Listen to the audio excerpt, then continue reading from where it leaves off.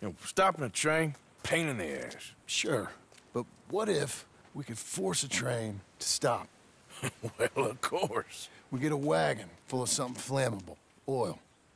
Put it on the tracks. They see it. They know they either have to stop or die. Ain't no train driver wants to be cooked alive. When I think of Red Dead Redemption, I think of two things. It's one of the best Western themed games I have ever played, and horse animations. It had the best horse animations and mechanics I've ever experienced in a video game. When Red Dead Redemption 2 was announced, I was excited. Being a fan of Rockstar's games, I knew I would get it without hesitation, and for those wondering, yes, I have the Ultimate Edition unopened.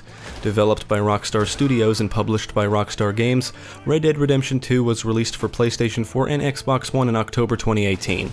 I purchased both versions digitally and had them preloaded and ready to go, but up until the day before release I wasn't sure which version I wanted to play first. The Digital Foundry analysis pushed me to play the Xbox One version. I was originally leaning towards the PS4 version because of the timed exclusives, but two of them are for Red Dead Online, which isn't available until November 2018, and I didn't think the Grizzlies Outlaw outfit, which is available in single player, was enough.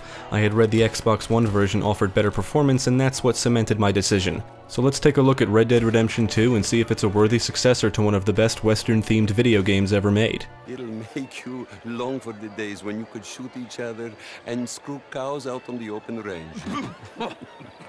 Those sure were the days. Good day, gentlemen. Red Dead Redemption 2 is a very story-driven and cinematic experience. It's also a prequel that leads directly into the events of the first game. The story is set in 1899 in a fictional and condensed version of the United States, and you play as Arthur Morgan, an outlaw in the Dutch Van der Linde gang. The story starts with the gang on the run from the law after a botched heist. The gang needs money to escape, so they rob a train that belongs to Leviticus Cornwall, a wealthy man in the oil business. Cornwall is furious about the heist and hires the Pinkerton detective agency to go after the gang. The gang is constantly on the run, and the leader of the gang, Dutch Van der Linde, promises that one last big heist is all they need to escape for good. If you've played the original game, you should know that doesn't actually happen. The plot is really a tale about how the gang dissolves, and in some ways, it mirrors the theme of Grand Theft Auto 5, the pursuit of the almighty dollar. The gang is always looking to rob and steal to fund their escape. I like the theme in particular because I like the idea of heists. On their quest for money, the gang ends up fueling many fires. They end up in the middle of a feud between two wealthy families, they instigate a war between a Native American tribe and the US Army, and at one point Arthur and a few other gang members end up on an island near Cuba. In my opinion, the writing is seriously on point, and Arthur Morgan is easily one of the best protagonists Rockstar has ever created. You're always playing as a criminal in Rockstar's open world games, and Red Dead Redemption 2 is no exception, but the morals of the protagonists in their games don't always match up with their actions actions, especially when the player is able to free roam and do what they want. I can easily let it go since that is the nature of the beast because these are video games after all. The game has an honor system and you will have to make decisions that affect your honor level and how people in the world treat you. Arthur never tries to hide who he truly is, and even though he has the option to help people, his loyalty is always to the gang. I really got hooked into the plot, and there's some excellent character development here. Many characters from the previous game make a return, like Dutch, Bill Williamson, Javier Escuela, and John Marston, among some others, and the voice acting is fantastic across the board. Roger Clark voices Arthur and does an absolutely phenomenal job. His performance is easily one of the best in the game. Red Dead Redemption 2 is one of the rare titles that tells a story I was actually sad to see come to an end. But as good as the story, characters, and voice acting are, ultimately the gameplay is what really defines the experience for me.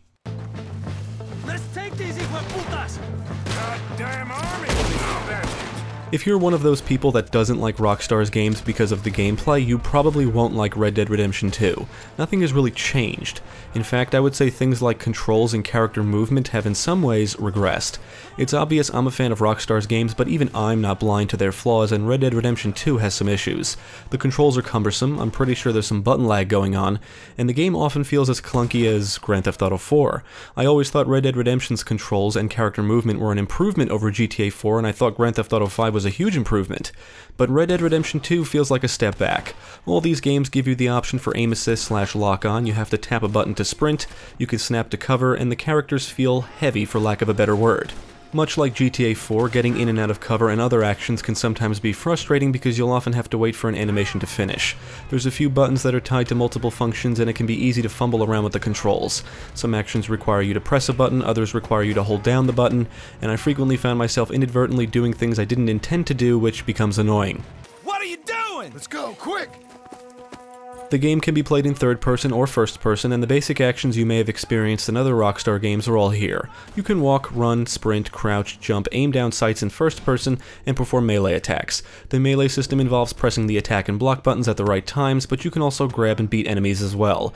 Arthur can perform stealth kills by sneaking up behind enemies and taking them down with his hands or a melee weapon. You can snap to cover, pop up from cover, shoot from cover, and the Deadeye mechanic makes a return from the previous game. When you activate Deadeye, time slows down, allowing you to mark your targets for shooting, and when ready, Arthur will rapidly fire at all marked targets.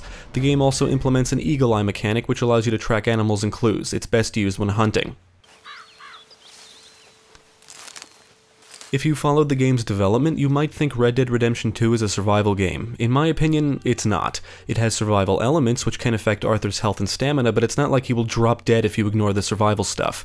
Arthur can cook and eat food, craft items, hunt animals, fish, and gain and lose weight.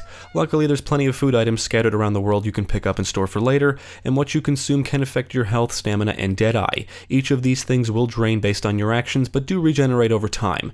However, the rate of regeneration depends on the cores of each status which also drain, and when the cores are empty, Arthur will start to experience negative effects. For example, when your stamina core is drained, Arthur's movement speed will be limited. Like I said, there's plenty of food items around, and food will replenish your cores. Certain tonics will temporarily fortify your health, stamina, and Deadeye bars, and some consumables can positively affect one status while negatively affecting another. Another survival element is weather. Arthur can get too hot or too cold depending on the location, and you'll need to dress appropriately, otherwise certain cores will drain faster. Ultimately, the survival elements are added in for realism, but you're never really forced to scrounge for anything to survive, and you can get through the story without really focusing on it. The primary mode of transportation is horses. Like Arthur, the horses have their own cores that need to be maintained, forcing you to actually care for your horse.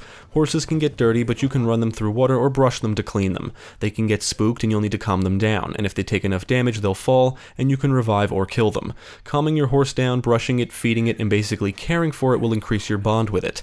As the bond increases, the horse's health and stamina bars will permanently increase, and they'll gain new abilities like rearing and skidding around corners, among others. When you're not near your horse, you can whistle or call it to make it come to you, and the better your bond, the longer the distance you can call it.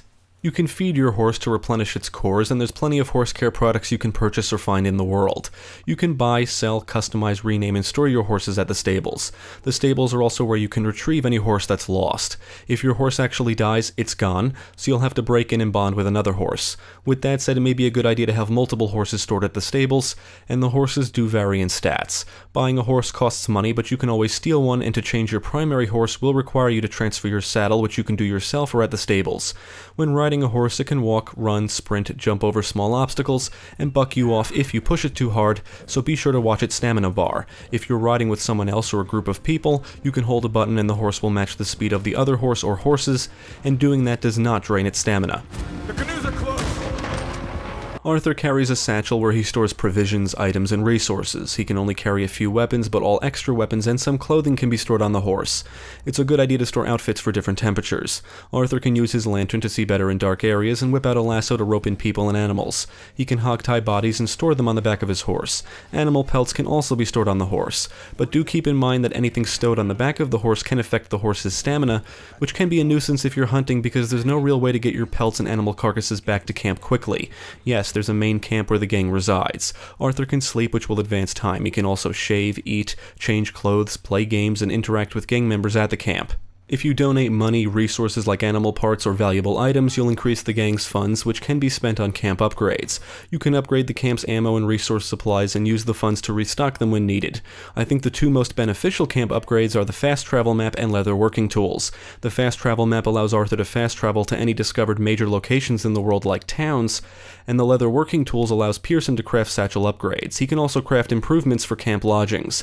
If you're not near the gang's camp, you can always set up a camp somewhere in the wilderness, and doing so will allow you to sleep, cook food, and craft items like tonics, bait for hunting, different ammo types, and arrows for your bows. You can also craft and improve certain weapons.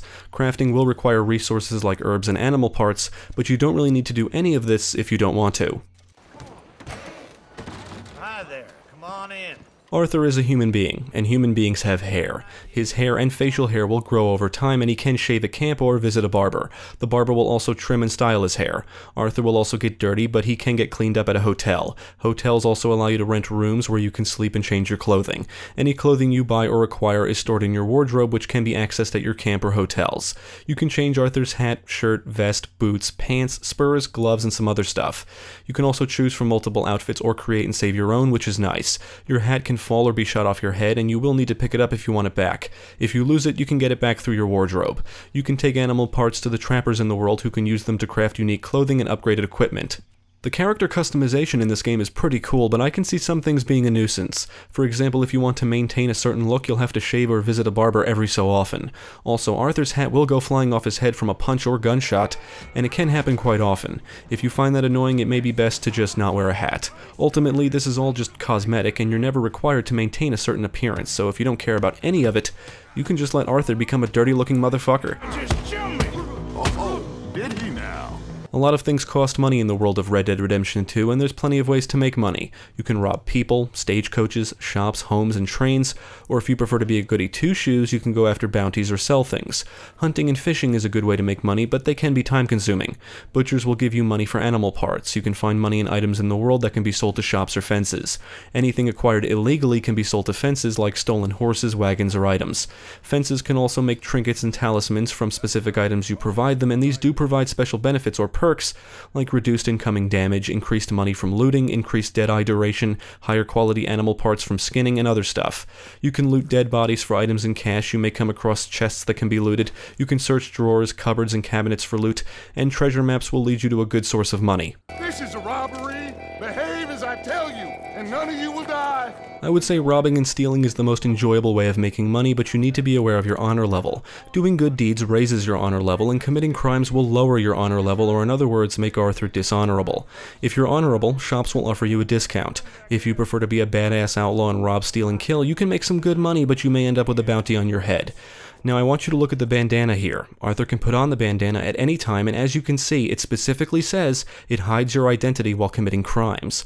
Whenever you commit a crime, there's a chance the law can come after you. If that happens, you can outrun them, but there's a chance a bounty will be placed on your head. It's my understanding the bandana is supposed to prevent the bounty. How can they put a bounty on your head if they don't know who you are? The game specifically indicates the bandana hides your identity, yet I've had bounties put on my head while wearing it, which I believe is for story-related purposes, but it's annoying. Another issue I have with it is that your honor is affected. How can you be considered honorable or dishonorable if the bandana hides your identity? I don't think honor should be affected while wearing the bandana. Furthermore, the bandana will be removed during cutscenes for some reason, and sometimes the game will force it off Arthur's face during gameplay, which is very annoying. Bounties can be paid off at the post office, so being wanted may cost you money, which can be frustrating if you're trying to be as honorable as possible. If a witness sees you commit a crime, they will run to report you to the authorities, so you can try and talk them out of it or outright kill them to stop them. If dead bodies are found, the law will come to investigate, so you either need to get away or hide the bodies. When the law is searching for you, there's a red area on the map which indicates their search radius. You need to escape this radius to evade them, but you also have the option to surrender. I really enjoy the wanted system here, it's actually quite involved, but the bandana aspect is flawed. The more crimes you commit raises the bounty, and if you're really trying not to have bounties on your head everywhere you go, you're going to have to be careful and pay them off whenever you can. We serve real drinks around here, not like that highfalutin Smithfield's place. In addition to the barbers, trappers, and fences, you can visit stores, tailors, doctors, and gunsmiths to buy items. General stores sell all kinds of items and clothing, but if the town has a tailor, the general store won't sell any clothing. Fallen enemies will drop weapons you can pick up, you can find weapons in the world, or you can buy them at gunsmiths. The gunsmiths will clean your weapons and customize them for you. They'll sell you ammunition, and you can pay them for upgraded equipment like upgraded gun holsters. Much like GTA 5, you can change your weapons weapon's appearance or upgrade its parts to make it more efficient in combat. You can add sights, scopes, improve the rifling, increase the barrel length, change the metals or wood, and add engravings or carvings. You can acquire and customize different revolvers, pistols, repeaters, rifles, and shotguns. You can also customize your knife. All weapons do vary in stats, and the firearms need to be maintained or they won't perform as well as they could. Maintained meaning cleaned. If you have gun oil, Arthur can clean the weapons himself, or you can have them cleaned at a gunsmith. Unless you mess with the settings, aim assist is on by default, so you'll always lock on to the nearest enemy when aiming. You can, of course, aim manually, which may be necessary in many cases since Arthur's aim isn't always steady at first. In addition to firearms are melee weapons and things you can throw. You can stab people with your knife, throw or stab people with your throwing knives, you can get your hands on a tomahawk hatchet, you can throw fire bottles and throw or plant dynamite. You're given plenty of options when it comes to killing people and all of them are satisfying.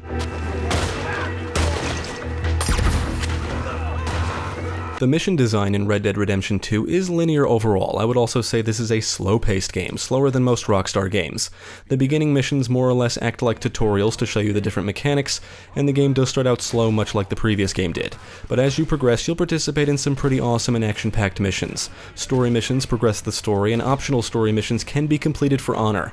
Many missions force you to make decisions, like to kill people or not, or to help or not help someone. You'll earn medals for missions based on how many of the mission's requirements you meet. You can replay any completed missions and try for better medals. If you've played other Rockstar games, the mission design and objectives should not be unfamiliar. You'll have to kill people, follow people, interrogate people, outrun the law, and much of the story dialogue is exchanged while riding or walking with people. The more exciting missions put you in shootouts, you'll rob places with gang members, rescue people, infiltrate areas, and some missions force you to be stealthy. I can't say the game is very difficult, and the mission checkpoints are pretty forgiving. There's going to be a lot of riding from one area to another, and luckily you can switch to the cinematic camera view, where you can hold down a button so your horse follows the path to your objective automatically.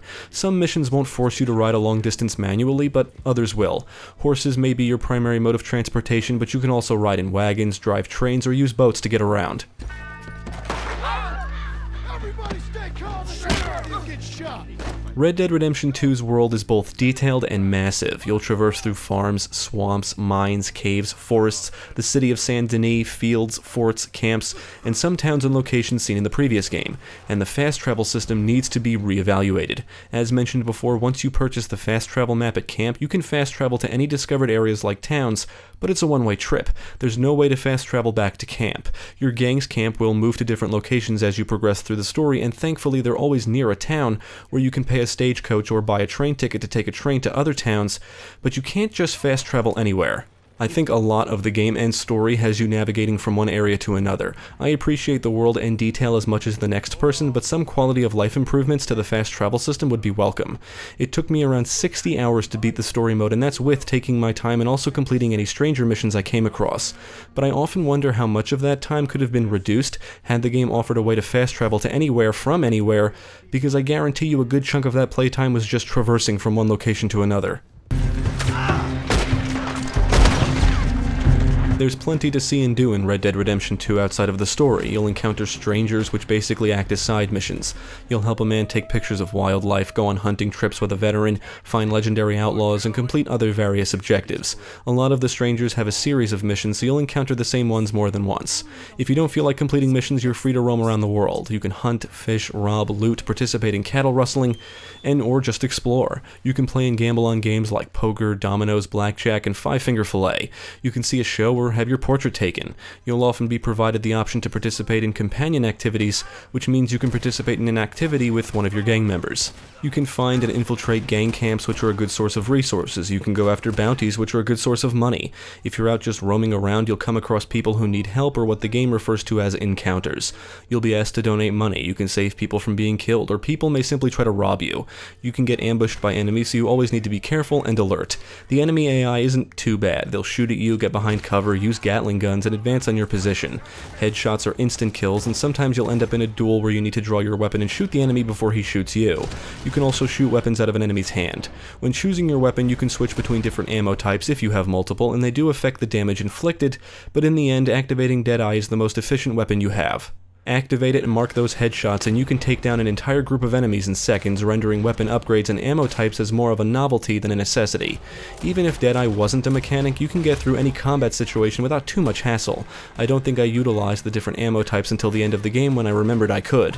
But, you know, I'm not really a nymph kind of man. Oh, of course, too ephemeral. You want something, uh, more tangible, more gothic. As you may or may not know, Rockstar likes the idea of collectibles. They hide small items around their massive worlds for players to find, and if you're going for 100% completion, finding them all can be a tedious task.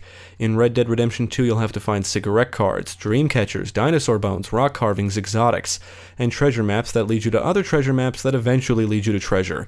There's actually more collectibles, and finding everything is just tedious. I would recommend you use a guide if you're going for 100% completion.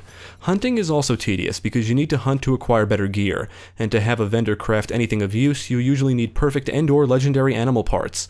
Hunting is a somewhat involved process. First you need to identify the animal and know the quality of it which is indicated by how many stars it has. Poor, good, and perfect are the different qualities. Some animals are considered legendary. You need to know that neck and head shots do more damage than body shots, and you need to know what weapons are better for killing specific animals. After you kill one, you can then skin it and collect its parts. You need to keep the parts on Arthur or his horse and make sure not to sell them if you're trying for a specific upgrade.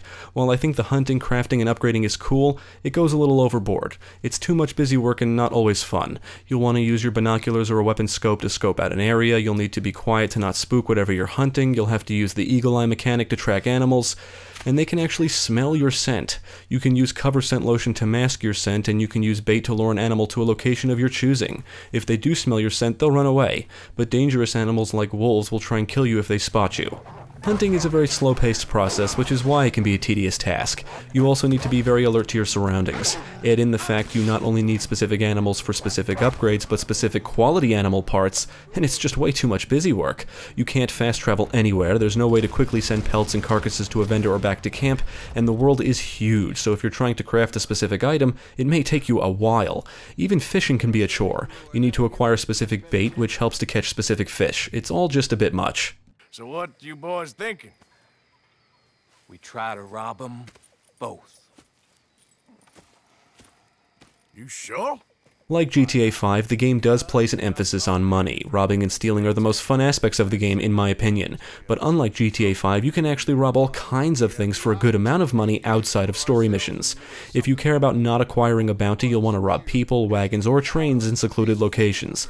Also, there's less people out at night, so robbing at night is safer than robbing in the daytime. You can ride your horse next to a wagon or train and then jump from your horse onto them to board them. The train is easily the most fun to rob, and it's also very lucrative. Not only can you rob the passengers, but you can also loot any cabinets and chests on board, along with any safes which can be blown open with dynamite. Stagecoaches and wagons can offer a decent amount of money, and you can rob any you come across in the world. As you progress through the story, you'll unlock coach robbery missions where you visit an NPC who gives you tips on specific coach locations. Considering you're part of a gang, I am disappointed that you can't actually bring gang members with you to rob something outside of missions. Anytime you do rob a train, stagecoach, wagon, or even a bank with gang members, it's always part of a scripted mission, and you have to split half the take with your gang members, and the other half goes to the gang's funds. All I want is the option to take a group of guys with me to rob something at any time. That's all I want. Get down Red Dead Redemption 2 is a very cinematic experience in many ways, not just in its story and writing, but the presentation as a whole. The visuals and attention to detail are breathtaking, and other than some pop-in here and there, this is one of the best looking games I've played in a while. The texture work is fantastic, the character reload and horse animations are incredible, and the lighting is excellent.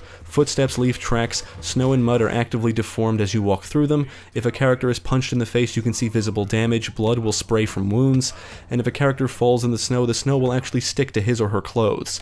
Objects will break, debris will fly around, and gun smoke will fill the air during firefights. Foliage will sway in the breeze, dust will blow through the air, you can see lightning strikes during a thunderstorm, and you can actually witness horses take shits. There are so many details packed into this game, it's ridiculous. If you shoot a shopkeeper and revisit the shop later, the shopkeeper will return wearing a bandage and remember you. If you so much as touch anyone after last time, you're out. Hmm. Tell me what you want or get out. You'll come across bounty hunters transporting bounties, people hunting, people fighting, people carrying items, and animals feeding on dead animals. An NPC I shot actually got up and screamed in pain before stumbling to his death.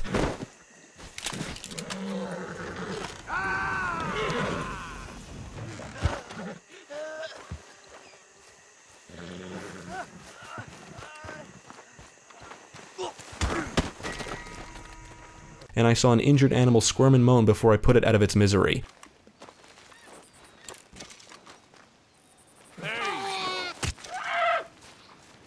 A well placed shotgun blast can blow a chunk of a person's head off or their entire head off. I could talk all day about the details, but Rockstar has always been about details, and the amount of detail here really helps to make the world feel like a living and breathing place. Most of the soundtrack is filled with what I'll call authentic sounding songs that fit the theme of the game perfectly, and the sound effects are just as incredible as the visuals. Gunshots are loud, they'll echo, you can hear bullets ricochet, animals will make all kinds of noises, and there's never any dead air, if you will. Now, I played Red Dead Redemption 2 on an Xbox One X, and I would say the performance is okay at best. The frame rate will noticeably dip often, especially if there's a lot of action on screen. I did encounter one significant bug, an NPC wouldn't move, halting mission progress. I threw some dynamite, which got him to move. Oh. Red Dead Redemption 2 is truly an immersive experience and I had a lot of fun with it. However, it is a slow-paced game and if you want to experience everything it has to offer, there's a lot of busy work involved. Rockstar has always paid attention to detail, adding a form of realism to their games which helps to make their worlds feel as lively and realistic as possible. Red Dead Redemption 2 is no exception. While most of the realistic aspects are just there for detail, some of it makes accomplishing certain things a chore. Crafting and upgrading gear and equipment is what suffers the most because it relies on animals you have to hunt, which can be a very slow and time-consuming process for a variety of reasons. The controls are cumbersome, and the game shares many of the same issues as GTA 4. On the plus side, the story is fantastic, there's plenty to see and do, and it's the kind of game you can easily get lost in. The action is fun, the combat is satisfying, and you can become a badass outlaw. This is one of the best and most detailed worlds Rockstar has ever created, although I would appreciate a better fast travel system. But at least all the navigation allowed me to appreciate the breathtaking visuals and details. I would absolutely recommend Red Dead Redemption 2 to fans of open world games, action games, westerns, and to those that enjoy Rockstar's previous titles. It has issues, but I think the good outweighs the bad. It's slow to start, it's a slow paced game in general, it's a very story driven experience, but once things open up, you're free to roam around the world and take in all the sights and activities. There are features I would have loved to experience that aren't here that I'm guessing will be added into Red Dead Online, like getting a gang together to do shit, for example but ultimately what's on offer here is fun, and I think Rockstar has set a new standard when it comes to detail and world design. Definitely check out Red Dead Redemption 2.